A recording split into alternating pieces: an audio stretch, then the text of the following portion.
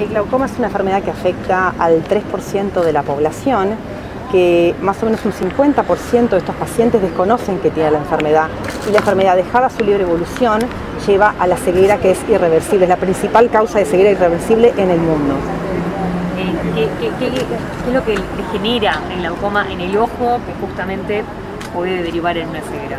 El glaucoma es una enfermedad que afecta al nervio óptico, que el nervio óptico es como si fuera el cable de corriente que nos conecta el ojo con el cerebro y una presión elevada va dañando de forma progresiva el nervio óptico va afectando el campo visual. El paciente va perdiendo su visión desde la periferia hasta el centro y hasta etapas finales de la enfermedad no tiene ningún síntoma. La pérdida visual se da cuando el glaucoma ya está muy avanzado.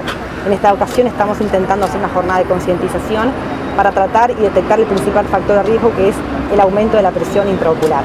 ¿Qué origina la, presión, el aumento de la presión? La presión se origina porque hay un desbalance entre la producción del líquido del ojo y los drenajes. Cuando hay un desbalance, hay una falla en los drenajes, generalmente sube la presión ocular y eso genera el daño del nervio óptico. ¿Hay alguna edad en particular en que sea más propensa la persona a tener glaucoma? El factor de riesgo principal es después de los 40 años, por lo cual debemos hacer un control anual de la presión intraocular, eh, pero cualquier persona, cualquier paciente puede tener este, glaucoma sobre todo si tiene antecedentes familiares y glaucoma, que se lo pone un poquito más en riesgo que el resto de la población en general.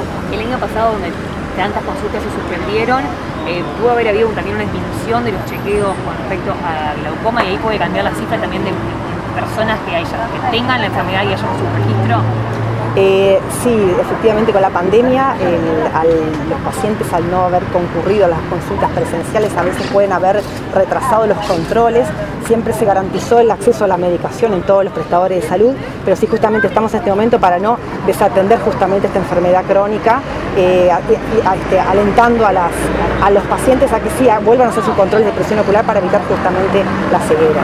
Los, uruguayos justamente dónde se pueden hacer este tipo de controles? Los controles de presión ocular se hacen en, las consultas oftalmológicas, que no solamente es importante el control de la presión ocular, sino que hacer un examen también del fondo de ojo, justamente mirar el nervio óptico, que es el principal afectado en esta enfermedad, que se hace un examen completo de presión ocular, fondo de ojo y si se necesita, eh, solicitar estudios adicionales como campo visual o tomografías del nervio óptico. Cuando se le detecta a la persona, ¿qué, significa y qué, empieza de ahí en adelante para evitar que derive en una ceguera? Eh, justamente la detección precoz eh, va a evitar las consecuencias de esta, de esta enfermedad. Con diagnóstico precoz puede marchar perfectamente bien. Cuando uno detecta un paciente que tiene glaucoma, se le indica un tratamiento que puede ser con láser, puede ser con tratamiento con gotas, y eso puede mantenerlo durante toda su vida y conservar su visión. No, tener glaucoma no es sinónimo que vaya a quedar ciego, controlado y bien tratado, puede tener una vida totalmente normal hasta sus últimos días está incluido el láser, por ejemplo, en el Fondo Nacional de Recursos? ¿Ese, tipo de prestaciones están incluidas? Sí, todo lo que son trabeculoplastias láser están incluidas, igual que el tratamiento de, gotas está incluido todo dentro de los, prestadores. ¿Qué significa esta jornada para la pesquisa nacional? Exactamente, bueno, lo que intentamos hacer este año y para no faltar, como lo hacemos todo el año desde Hospital, hoy Hospital Especializado de Ojos, porque somos una nueva unidad ejecutora, estar aquí presentes en una jornada que si bien no pudimos convocar a la población para que se acercara, sí queremos hacer una difusión activa ¿sí? de nuevas incorporaciones que estamos haciendo en el Hospital de Ojos, llámese instrumentos para la toma de la atención ocular, celebrando justamente la Semana Mundial del Glaucoma, ¿sí? y también la incorporación de un equipo ¿sí? Eh, para un procedimiento quirúrgico que se llama láser eh, de ciclo ablación con láser diodo y que incluso nos va a permitir tratar a diferentes grupos sectarios y llevarlo al interior del país. Eso es para el tratamiento de la enfermedad. Exactamente. Nosotros aquí lo que tenemos que hacer como hospital de ojos, como centro de salud, dependiente de la Administración de Servicios de Salud del Estado, es readaptarnos a esta nueva, ¿no? a esta nueva situación de emergencia sanitaria y de esa manera no descuidar las patologías crónicas que obviamente eh, tienen que continuar porque la discontinuidad asistencial no puede existir.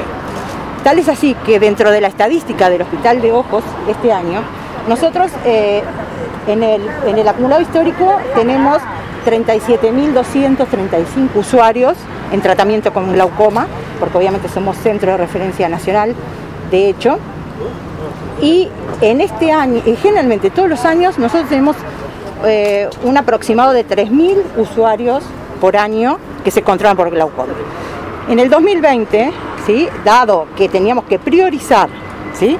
las nuevas consultas, o sea, las consultas por primera vez y como presenciales, ¿no? más allá de lo que hacíamos telefónico, ¿sí? y también eh, controlar, seguir con el control en las patologías crónicas, que para nosotros el glaucoma es la, patología crónica por excelencia, propia del globo ocular, ¿sí? y que conduce a la ceguera irreversible, logramos ver, eh, logramos eh, controlar 4.715 usuarios. O sea que de 3.000 que frecuentemente hacemos, entre 2.800 y 3.200, año más, año menos, este año logramos llegar a los 4.700, o sea, casi un 50% más porque priorizamos, sin descuidar las otras patologías, pero sabiendo que las otras patologías ¿no? nos dan un tiempo ¿sí?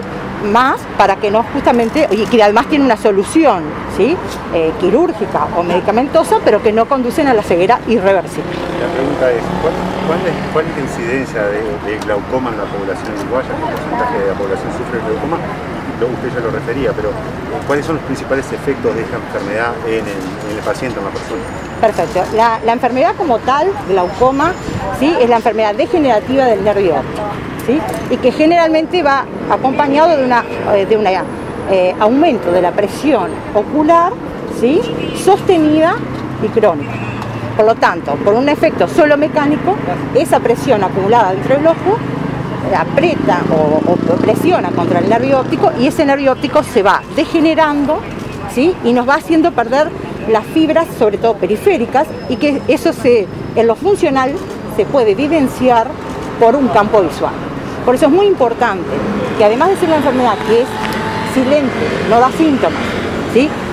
pero que sí eh, la prevalencia es un 2% de la población, ¿sí? de 2 a 3%, nosotros estaríamos hablando de 70.000 uruguayos, que eh, muchos de ellos desconocen que tienen la patología y por eso, obviamente, como no da síntomas, no se controla. Es nuestra responsabilidad como oftalmólogos, ¿sí? como hospital de ojos, captar esos pacientes obviamente haciéndole todo un cuestionario, pero también haciendo el examen oftalmológico, que siempre el examen oftalmológico ¿sí? de, un usuario debe pasar por la toma de la presión ocular. Eso sí o sí. Y de esa manera, con un fondo de ojo, viendo alguna alteración en el nervio óptico, presiones oculares elevadas y un campo visual alterado, bueno, tenemos la tríada diagnóstica para justamente comenzar con un tratamiento. Que en principio los tratamientos son con colirios, pero ahora tenemos una noticia para darles que vamos a, intentar de que esa adhesión al tratamiento ¿sí? sea más efectiva, sobre todo en todos los usuarios, pero sobre todo los usuarios del interior del país, que son los que están más alejados y, cuestan llegar más a, obtener esos colirios. ¿Cómo se va a hacer para, para llegar a ellos y, cuál es la, forma en la que se va a lograr este, solucionar el problema más rápidamente? Perfecto. Nosotros ya a través de uno de los convenios con la Asociación de Empleados Bancarios del Uruguay. Eh, comenzaron ya todas las gestiones, en un mes, mes y algo tenemos este equipo ¿sí? que se llama ciclofotocoagulación, ¿sí? con láser diodo, que lo que hace justamente, primero es portátil, lo que nos va a permitir llevarlo al interior. Pero se, pueden, se puede actuar porque tiene dos, dos maneras de funcionar, o por micropulso o por la cicloablación completa, perdón, del cuerpo ciliar. En el cuerpo ciliar, que es una de las estructuras del ojo, es ahí donde se forma el humor acuoso. Ese humor acuoso, si no se drena como se debe de drenar, empieza a acumularse dentro del ojo y eso empieza a aumentar la tensión ocular. ¿Cómo actúa este láser? Bueno, actúa justamente en esas células del cuerpo ciliar. Lo que va a hacer es, por micropulso, podemos destruir algunas células ¿sí? y bajar la formación de humor acuoso y por ende bajar la presión intraocular. De esa manera, los usuarios no tendrían que estar con tratamientos con uno, con uno sería lo más, lo más efectivo o lo más, vamos a decir, lo más suave y de adhesión al tratamiento, pero si no, generalmente están con dos o tres colirios. Entonces, de esta manera evitamos Eh, que tengan que adquirir los colirios, que a veces no es fácil colocárselo todos los usuarios, no es fácil adquirirlo, por ejemplo, pensemos en un chacreo que está bien en lo profundo del Uruguay, no fácilmente accede, puede hacer que esa, ese tratamiento lo, interrumpa porque obviamente le quedó tiempo sin, sin, dosis, o que muchas veces tienen intolerancia a esos colirios porque tiene alergia, ¿sí? Y bueno, o irritabilidad, y de esa manera eh, nos daría una buena solución. Lo interesante es que sirve para diferentes etapas de glaucoma. Si, hacemos una cicloablación, que sería la ablación completa de todo el cuerpo ciliar, o sea, destruir todas las células, en ese caso sirve para los glaucomas avanzados, lo que llamamos ojo ciego doloroso que también muchas veces lo tenemos que tratar igualmente con colirios, pero que si hacemos una cicloablación completa, dejaría de eh, por lo menos tener dolor el, usuario. ¿sí? Por otro lado, en los incipientes, como dijimos, podemos hacer micropulsos en los 360 grados y de esa manera disminuir y que no requiera de colirio. Y algo que no es menor, muy importante, es que se utiliza para los glaucomas congénitos, o sea, en niños. Es un muy lindo equipo para tratar los glaucomas congénitos en niños. Obviamente el, hospital pediátrico del CHPR es obviamente un hospital que está dentro de la Administración de Servicios del Estado y como todos, como gran Administración de Servicios de Salud del Estado, vamos a compartir el equipo para darle la mejor solución a todos los usuarios. Gracias.